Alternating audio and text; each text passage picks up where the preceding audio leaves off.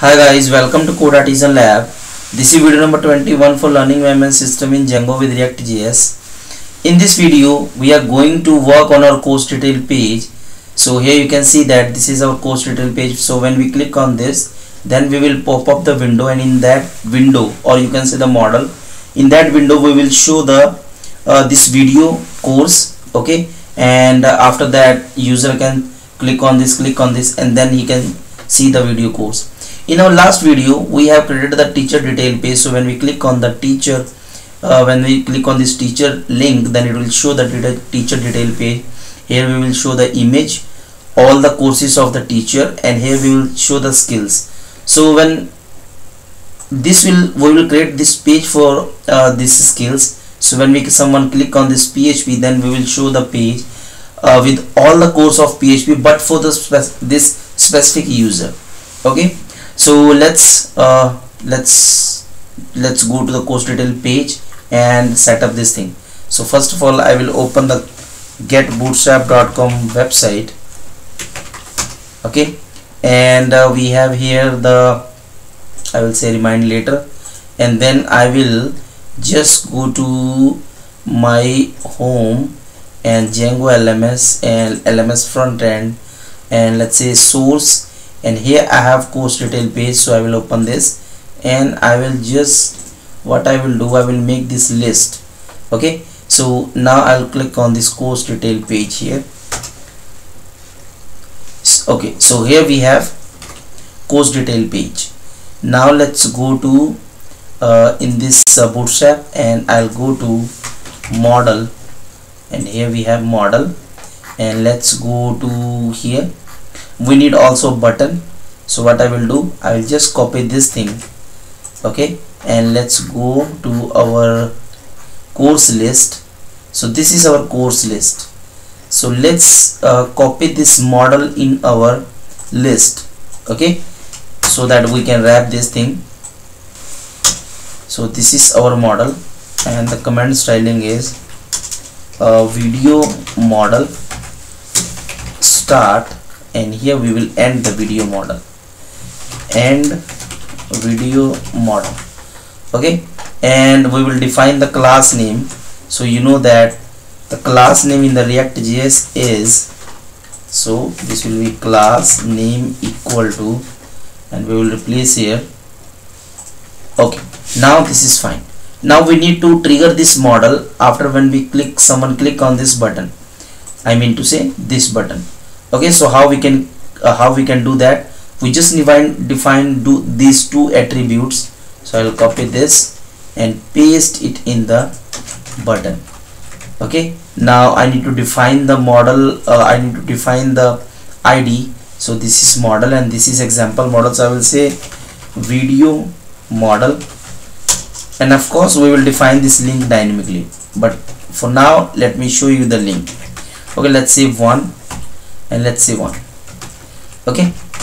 Now let's refresh the page. Uh, we don't need to refresh but uh, it is my habit that we need to refresh. So when we click on this it will show the modal. Okay. So in this modal what we are going to what we are going to show?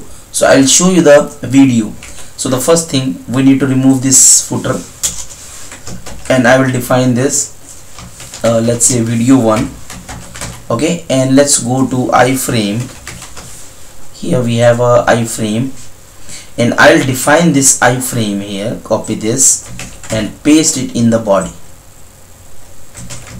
So as you know that currently we are structuring our layout. Later it will be very uh, you can say fun when we uh, create the API and do the things. Okay? So when we click here refresh the page okay it will automatically refresh so here you can see that we can also increase the size of the modal so how we can do that? We will just go to documentation and here we have a let's search size uh, where it is.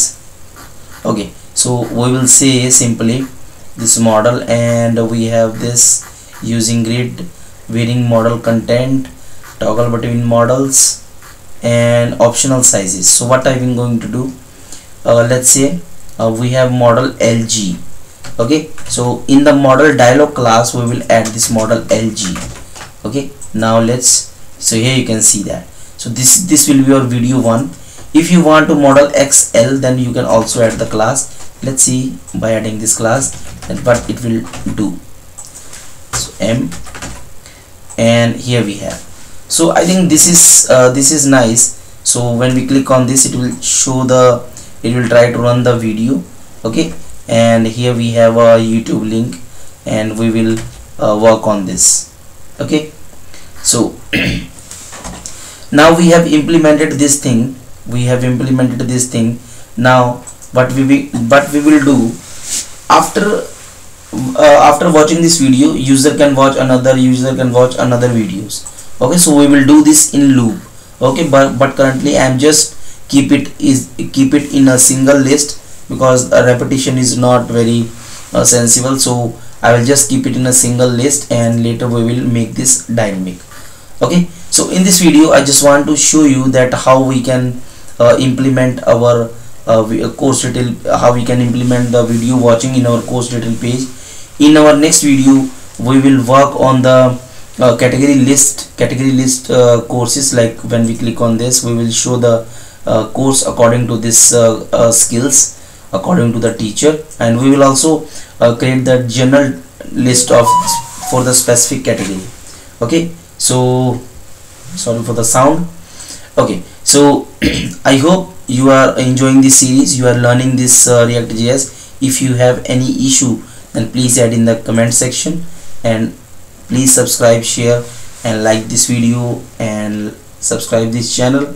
And you can also support me via Razorpay PayPal and uh, uh, for your just simple uh, support I will provide I will provide the source code of any of the project okay? So please support me and follow me on social media. You can go to the about us section and you can see the all information that I have provided.